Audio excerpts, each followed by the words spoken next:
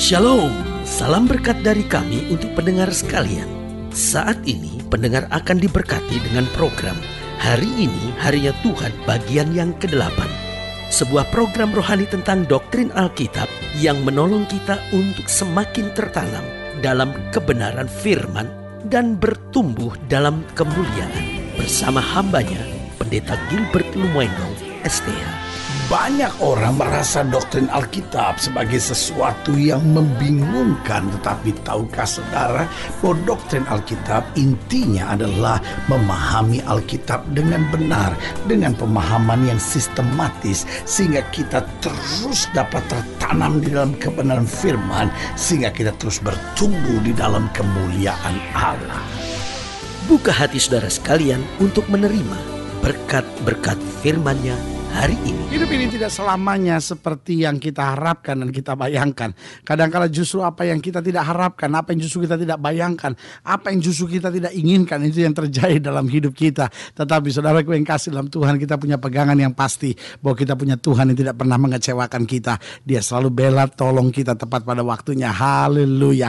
Selamat datang dalam program kita hari ini harinya Tuhan, sebuah program rohani yang meningkatkan iman kita melalui pembahasan-pembahasan firman firman Tuhan secara teratur dan sistematis karena saya rindu setiap orang percaya gali firman Tuhan dan mengambil mutiara-mutiara indah di dalamnya menjadi pegangan dalam kehidupannya. Karena saya percaya betul waktu kita gali firman Tuhan kita sungguh mengalami kesegaran kita sungguh mengalami kekuatan seperti air sejuk yang mengalir dalam hidup kita untuk memberi semangat baru untuk memberi damai sejahtera buat kita. Karena saudaraku yang kasih dalam Tuhan dunia bertambah jahat tetapi orang yang melakukan firman Allah akan tetap kuat dan bertahan menghadapi segala perkara. Haleluya.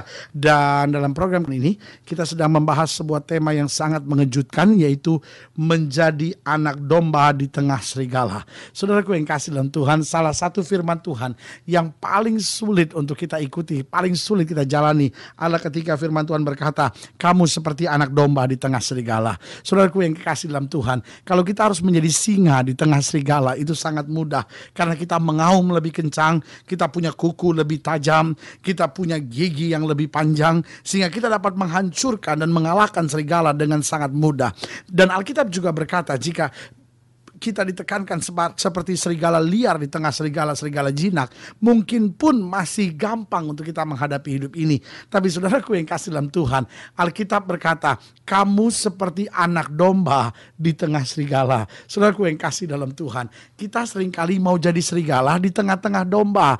Nah saudaraku yang kasih dalam Tuhan, kalau kita mesti jadi anak domba di tengah serigala, saya percaya itu bukan perintah yang mudah, itu bukan perintah yang yang gampang untuk dikerjakan. Karena menjadi menjadi anak domba di tengah serigala, berarti kita selalu ada dalam bahaya, kita selalu ada dalam situasi yang menekan, kita selalu ada dalam situasi yang tidak menyenangkan. Tapi saudaraku yang kasih dalam Tuhan, Tahukah saudara bahwa anak domba tidak pernah berjalan sendiri? Anak domba selalu berjalan bersama dengan gembalanya. Berarti rasa amannya, rasa tenangnya yang dia miliki bukanlah karena serigalanya menjauh, tetapi karena dia tahu ada domba yang menyertai dia. Dan di tengah domba-domba itu, dia tahu ada gembala yang beserta dengan dia. Nah, saudaraku yang kekasih dalam Tuhan, itu yang kita bahas hari ini, yaitu menjadi anak domba di tengah serigala buka Alkitab saudara sekarang dalam Lukas pasal 10 karena pembahasan kita sedang masuk ke sana. Lukas pasal 10 ayat 1 sampai ayatnya yang ke-12 Lukas 10 ayat 1 sampai ayat 12 kemudian daripada itu Tuhan menunjuk 70 murid yang lain lalu mengutus mereka berdua-dua mendahulunya ke setiap kota dan tempat yang hendak dikunjunginya. Katanya kepada mereka tuayan memang banyak tetapi pekerja sedikit. Karena itu mintalah kepada Tuhan yang punya tuayan supaya mengirimkan pekerja-pekerja untuk tuayan itu. Jadi Alkitab jelas bilang bahwa tugas kita, tanggung jawab kita sebagai orang percaya adalah membuka mata kita untuk menyadari bahwa tuayan memang banyak tetapi pekerja sedikit. Tuhan tidak mempersoalkan apa jabatan kita, Tuhan tidak mempersoalkan apakah kita full timer, part timer atau orang biasa karena kan ada banyak orang yang bilang, "Loh, saya kan bukan hamba Tuhan full timer, saya kan hanya hamba Tuhan part timer." Atau sebagian lagi bilang, "Ya, saya kan uh, bukan hamba Tuhan, saya kan hanya aktivis-aktivis gereja belaka." Saudara gue yang kasih dalam Tuhan, ini bukan urusan full timer atau part timer, tapi ini urusan full heart, ya kan? Berarti dengan segenap hati kita, kita mau melayani Tuhan. Karena yang Tuhan cari bukan orang yang punya waktu banyak, tapi orang yang punya hati yang bersih untuk berbuat sesuatu bagi dia. Makanya Alkitab bilang, tuayan memang banyak, tetapi pekerja sedikit. Ayat 3, pergilah sesungguhnya. Nah dengar baik, Aku mengutus kamu seperti anak domba ke tengah-tengah serigala. Anak domba ke tengah-tengah serigala. Ayat 4. Janganlah membawa pundi-pundi atau bekal atau kasut. Janganlah memberi salam kepada siapa pun selama dalam perjalanan. Kalau kamu memasuki satu rumah, katakanlah lebih dahulu damai sejahtera bagi rumah ini. Dan jikalau di situ ada orang yang layak menerima damai sejahtera maka salammu itu akan tinggal atasnya. Tetapi jika tidak salammu itu kembali kepadamu. Tinggallah dalam rumah itu makan dan minumlah apa yang diberikan orang kepadamu. Sebab seorang pekerja patut mendapat upahnya. Janganlah berpindah-pindah rumah. Dan jikalau kamu masuk ke dalam sebuah kota dan kamu diterima di situ makanlah apa yang dihidangkan kepadamu. Dan sembuhkanlah orang-orang sakit yang ada di situ. Dan katakanlah kepada mereka kerajaan Allah sudah dekat padamu. Tetapi jikalau kamu masuk ke dalam sebuah kota dan kamu tidak diterima di situ, pergilah ke jalan-jalan raya kota itu dan serukanlah juga debu kotamu yang melekat pada kaki kami. Kami kebaskan di depanmu. Tetapi ketahuilah kerajaan Allah sudah dekat. Aku berkata kepadamu pada hari itu, Sodom akan lebih ringan tanggungannya daripada kota itu. Saudaraku yang kasih dalam Tuhan, Yesus mulai membeberkan tantangan, masalah, pergumulan bagi orang-orang yang melayani Tuhan. Tapi Yesus mau tegaskan kamu jangan jadi singa di tengah serigala, kamu juga jangan jadi serigala di tengah domba, tapi kamu harus tetap menyadari bahwa kamu hanyalah anak-anak domba yang sedang ada di tengah serigala. Kamu jangan sampai diterkam, kamu jangan sampai masuk dalam perangkap mereka, sebab kalau tidak kamu akan dilumat kamu akan dihancurkan, kamu akan dihabisi. Tetapi jaga keberadaanmu, jaga hatimu, ingat keadaanmu. Hanya seperti domba-domba yang bergantung sepenuhnya pada kekuatan dan kasih dari seorang gembala. Saudaraku yang kekasih dalam Tuhan, ini menarik untuk kita bahas siapa sebetulnya anak domba ini. Bagaimana sikap kita sebagai anak domba di tengah serigala. Yang pertama, sikap seorang anak domba di tengah serigala. Yang pertama, harus terus dekat dengan sang gembala. Saudaraku yang kasih dalam Tuhan, anak domba tidak akan pernah berjalan sendiri. Anak domba harus berjalan dengan induk dombanya. Tetapi bukan hanya dia perlu berjalan dengan induk dombanya. Biasanya seekor anak domba masih perlu belajar banyak. Sehingga apa? Sehingga sang gembala selalu harus dekat dan menuntun anak-anak domba ini. Karena yang paling dikhawatirkan, yang paling ditakutkan oleh seekor domba adalah kalau dia sedang berjalan menuju air. Karena domba membutuhkan air yang sangat banyak, tapi bulunya cukup tebal. Apalagi untuk anak-anak domba yang kecil dengan bulu yang tebal itu. Kalau dia sudah mulai dekat sungai, dia coba menghisap air dari sana, dia coba mengambil air. Tetapi jika dia sudah masuk ke dalam air itu, maka apa yang terjadi? Dia tidak bisa keluar lagi dari air sungai itu. Kenapa? Karena badannya mulai menjadi berat, karena bulu-bulunya mulai basah, dia sulit mengangkat badannya sendiri. Saudaraku yang kekasih dalam Tuhan, di situ sang gembala akan datang untuk menggendongnya. Ini menggambarkan kepada kita betapa anak domba sangat tergantung dengan sang gembala.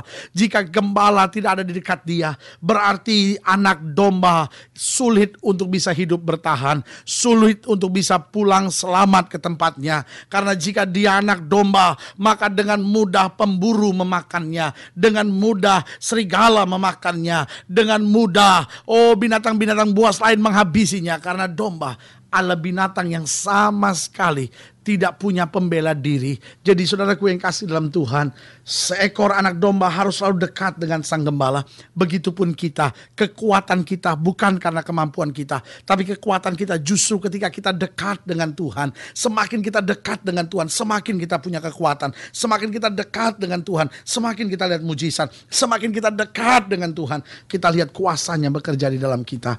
Berarti bagaimana sikap kita seperti sebagai anak domba di tengah serigala. Yang pertama kita harus terus dekat dengan sang gembala.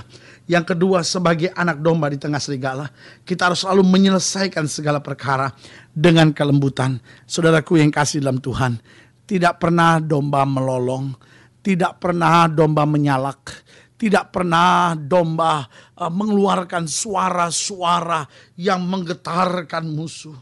Tetapi dia menjalani segala sesuatu dalam kelembutan karena dia hanyalah seekor domba dia memberikan kulitnya bagi manusia untuk memakainya. Saudaraku yang kekasih dalam Tuhan, saudara pelajari setiap binatang ketika diambil bulunya, binatangnya harus dibunuh terlebih dahulu. Baru bulunya, kulitnya bisa diambil. Saudaraku yang kasih dalam Tuhan, saudara bisa bayangkan domba begitu lembut. Oh diambil bulu-bulunya sampai digundulin domba ini tapi domba ini masih tetap bertahan hidup. Ini mau menggambarkan kepada kita sikap seekor anak domba. Seekor anak domba, dia selalu berjalan dalam kelembutan. Ini mengajar kepada kita, ingat ada banyak masalah tidak bisa kita selesaikan. Bukan karena terlalu rumit, tapi ada banyak masalah tidak bisa kita selesaikan karena kita terlalu emosional. Asal saja kita mau hadapi dengan ketenangan, asal saja kita mau hadapi dengan kelembutan. Saya percaya banyak-banyak masalah bisa terjadi. Asal saja suami mau lembut terhadap istrinya, asal saja istri mau lembut terhadap suaminya, asal saja orang tua mau lembut terhadap anak-anaknya, asal saja masing-masing kita mau bersikap dengan lembut. Saya ada banyak masalah yang bisa kita selesaikan. Jadi catat baik-baik bagaimana sikap kita sebagai anak domba ketika kita menghadapi serigala-serigala yang buas di muka bumi ini. Yang pertama, kita harus selalu dekat dengan Sang Gembala, Gembala Agung kita, Kristus Yesus Tuhan Raja Juru Selamat kita. Yang kedua, kita harus selalu menyelesaikan segala perkara kita dalam kelembutan. Dan yang ketiga, kita selalu harus menghindari yang jahat. Saudaraku yang kasih dalam Tuhan, domba tidak pernah bisa menghadapi serigala yang dibuat oleh domba. Domba selalu menghindari serigala. Ketika dia tahu ada serigala, dia berusaha menghindari. Saudaraku yang kasih dalam Tuhan, dunia dengan segala hawa nafsunya ingin menyeret saudara. Dunia dengan segala hawa nafsunya ingin menghancurkan saudara. Tugas kita sebagai orang percaya bukan menghadapi dunia dengan segala hawa nafsunya. Tetapi tugas kita sebagai orang percaya adalah menghindari dunia dengan segala hawa nafsunya. Kita tahu bahwa roh memang penurut tapi daging lemah. Berarti kita harus berjalan seturut kehendak pimpinan Tuhan. Waktu kita tahu bahaya ada di depan kita. Waktu kita tahu bujuk rayu dari si jahat mulai ada di depan kita. Kita mulai menghindar, kita mulai mengambil jalan Tuhan. Mulai setia di jalan Tuhan, di situlah kita melihat kasih, kuasa, mujizat yang luar biasa. Ingat, kita anak domba di tengah serigala. Jangan mengandalkan kekerasan, jangan mengandalkan kekuatan, jangan menyombongkan diri, tetapi biarlah kita melekat, mendekat kepada Sang Gembala kita. Sang Gembala kita akan menyelesaikan segalanya, sebab Yesus Tuhan yang mengasihi dan mencintai kita. Haleluya.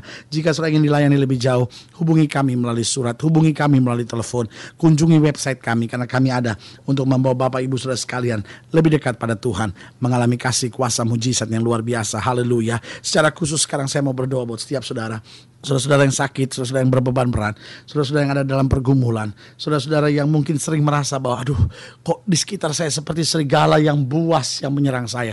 Saudara ingin didoakan secara khusus, saudara boleh taruh tangan kanan saudara di dada dan kita doa. Bapa dalam nama Yesus, bagi Tuhan tidak ada perkara yang mustahil. Hamba berdoa buat yang sakit, hamba berdoa buat yang berbeban berat, hamba berdoa buat rumah tangga-rumah tangga yang goncang, hamba berdoa buat orang-orang muda yang sedang lemah, bahkan hamba berdoa buat mereka Tuhan yang menyadari seperti domba di tengah-tengah serigala. Bapak hamba berdoa berdoa mohonkan kekuatan di dalam nama Yesus. Tuhan jamah, Tuhan pulihkan, Tuhan kerjakan mujizat. Sehingga melalui program ini Tuhan, kembali kami rasakan kasih Tuhan menjamah kami. Kami rasakan Tuhan mulai memulihkan hidup kami. Tuhan mulai menyatakan mujizat di dalam nama Yesus. Haleluya. Amin. Saudaraku yang kasih dalam Tuhan kita sudah berdoa. Imani apa yang sudah kita doakan. Karena kita tahu Tuhan tidak pernah gagal menepati janjinya. Doa saya menyertai saudara tetap kuat, tetap bersemangat, tetap bersuka cita menghadapi segala perkara. Jangan lupa jadikan hari ini harinya Tuhan. Haleluya.